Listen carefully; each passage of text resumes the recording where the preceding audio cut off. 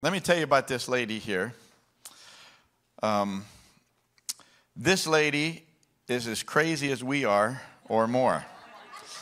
She is an apostolic leader in the kingdom of God. She's really one of our heroes. We just watch how the Lord has used her over the years and just does one thing after another that most people would not dare to do. But she just does. And uh, she has pastored for many years. She was a multiplier of campuses, she was a multi site church campus pastor. Uh, she's always involved in something with missions, going overseas and supporting and such. But more recently, she has this amazing ministry uh, called WIML, Women in Leadership Ministry, and ministering to women to bring confidence to them, to bring scripture to them, encouraging words, to network them and such, so that they realize hey, look, we're not left out. We are commissioned by the Lord, we're called of the Lord to make disciples of all nations and to fulfill our callings right along with everybody else. And let me tell you, it's working. I mean, there are so many women. In fact, we have some young women right now that are in one of her cohorts right now being ministered to, and they love it. They love it. But this is a grace that's on her life, and we just keep watching Mary, and these things happen. I asked her to come up here and bring a greeting, but I had something else in mind because we want to honor her tonight. But I will have you bring a greeting too. But let me tell you what else is significant here, and this is something historical that was a game changer for our ministry. You see, in 2003, we launched this discipleship system called Operation Solid Lives. And I mean, by that point, we must have had, 2003, we must have already had four or 500 people coming to church a three year old church, and the Lord was blessing us and such. And so I let them know hey, disciple making, discipleship, if you want your life to be changed, get into this. And so for a number of weeks, I cast a vision to everybody, every service, every week, and such. And we got 25 people to join the very first level one class, which we called at that point boot camp. And uh, that was it. I was a little disappointed. I thought, man, I thought more people would come. Didn't I tell them it was life changing? But it was life changing for those. And then they told other people. And so then we did another one. And then we went on did level two, but we did another level one. And then we did another level two. Then we went on to do level three, but we did another level one, another level two. And we just kept building it like that. And that was a lot of work, not as much as Jesus' disciple, but that was a lot of work back then. And we were doing it, and it was working. And our church was growing, and people were being changed and enriched by the Word of God. And then I was invited out by Pastor Marion and Kimberly and I were to speak. They would have these family camps that were absolutely, they're amazing. But we went out to speak this time. We got to talking about OSL and things. She was asking questions. She, and finally she said, okay, we need it. How do we get it? And I said, oh, uh, we just designed it for our church. So it's really, you know, we didn't design it to export anywhere else. It just, you know, we designed it for us. And she said, well, I know, but we need it, so how do we get it? and this is this is Marion, right? If she knows it's the right thing, well, you're not going to tell me no, this is what we need to do. But I didn't know that's what we needed to do. But we love her, and she's kind to us, and so, you know, we'll just keep answering the questions. And so I said, I, I don't know. I don't know how we'll do that because we really didn't think about it for another church. We just designed it to function with us here at the Rock you know, and our mission is Operation Solid Lives. That's why it's called Operate.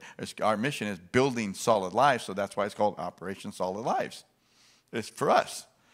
And she said, okay, so how do we do it? so I, I don't know. I said, I guess we can talk about it and figure it out. So, um, well, I'm a smart guy. So I said, Tammy, figure it out.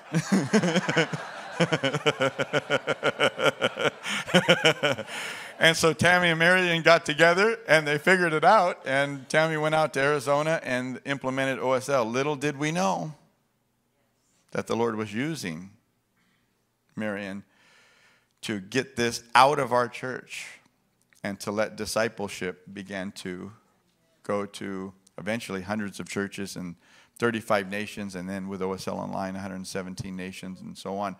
But let me tell you, that was not a vision that we had. We, had, we did not see that. She did it right there. And yeah. Yeah. And we, uh, we did not realize at the time. We thought, well, we'll help this church. But we didn't realize that the Lord was using Marion to provoke something for the release. Let it go.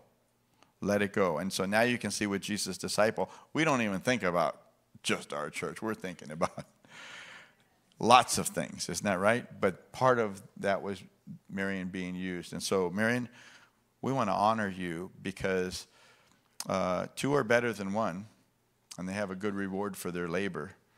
And you helped us to go into a level of ministry that we didn't realize we were called to go into.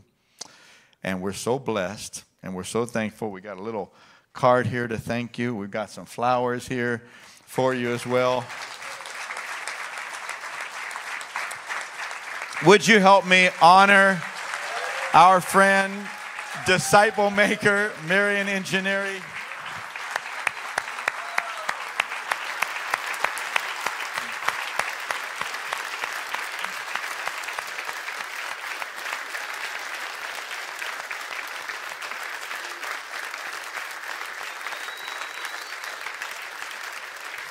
From the bottom of our hearts, thank you. Thank you. You may be seated. And uh, we really do love you and we honor you, and you really are something special. And I tell you what, what the Lord is doing in you now, there's something big in the future. And I believe that the impact of these next years will be more than anything you've done before by the grace of God. Okay, uh, Kimberly, hold these four. Would you greet us now, Marion? Uh, I did want her to greet us because she is a partner in the ministry and a real I, I just read this morning uh, early in the scriptures where Paul said, and I want you to take care of these women who have been partnering with us in the ministry. I just love that the Apostle Paul called out these women and said they were partnering with me. He didn't say they were my servants, even though they no doubt were serving. But he said they were partnering with me in the gospel. And so this is one of our partners. So greet us, would you? Okay, I'm not sure I can, but Wow, I, I didn't, I, you can understand I didn't see that coming. Um, I knew that. Wow. Uh, I was actually trying to get you a message that you don't need to have me greet tonight. We want to hear her preach. so, um, I first of all thank you from the bottom of my heart, both of you. It's an honor to partner with you, and thank you for saying yes. Thank you, Tammy, for helping us in 2007. Poor girl, I, it was July of 2007, and I said I need it by September. And they said, Well, it's chicken scratch notes. And I said, That'll work for me. and um, I, I am grateful to be a part of this ministry. And, um, and we were happy when we were able to celebrate 10 years with you on the OSL. We brought you to our church and celebrated what God had done in 10 years of just all OSL. And look and see what God will do now with Jesus Disciple. And, um, and if I'm honest, the truth is I'm a selfish little pig. because they had something so good and so fantastic, and I'm like, why is this just for the rock? Why can't we have it too? And um, so we have it but it has changed my life. It's changed our children's lives. It's changed our church, our network. It's changed my trajectory as a leader. And um, my thought process to all of us tonight, I'll just leave you with this, is we might be asking ourselves, are we too mature or not mature enough? Or are we somewhere in between, not able to do Jesus' disciple? And I can tell you this that when you first become a believer, that's when you can start discipling others. You don't have to wait until you're fully grown up. Just start discipling others now. And if you think, and the problem is, I would say that so many of us, we get older in the Lord and we get busy doing things of church life and we stop discipling people. And I think that's the bigger category to worry about that we're never too mature to disciple people. So let us be disciplers and let us be Jesus' disciples and do what he's asking us to do. I'm so absolutely blown away to be able to be a partner with this and in the network and all of all of what God has. I'll keep you busy because I keep having questions and I've already contacted a ton of people. I already started my first group and uh, I have some young women that I'm going to invite to my first group.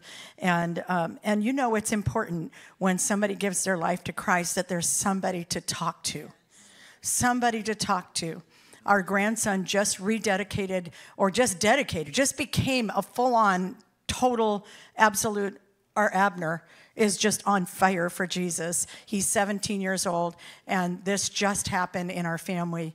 And he was just kind of even never against the Lord, but now we see him on fire. And you know what happens in his house? It's boys and Bibles all over the house, and he's discipling. My daughter asked him, Abner, what about all your friends that didn't go to church? He said, Oh, no problem, Aunt Carrie. Any of our my friends that don't know Jesus, I'll just evangelize them. That's it. So this is our assignment to be Jesus' disciple and raise up disciples to disciple others. And so I am honored to be a part of it. It is a blessing, and I just speak life and grace and peace over you, over this ministry. Jonathan, there's just a special anointing on you, young man. I've watched you grow up, and I just want to see all that God has for you just as you you expand and do all the work of the ministry. And uh, may the Lord bless every single minister in this room because who are the ministers? That's right. Uh, that wasn't loud enough. Who are the ministers? That's right. Thank you, Marion.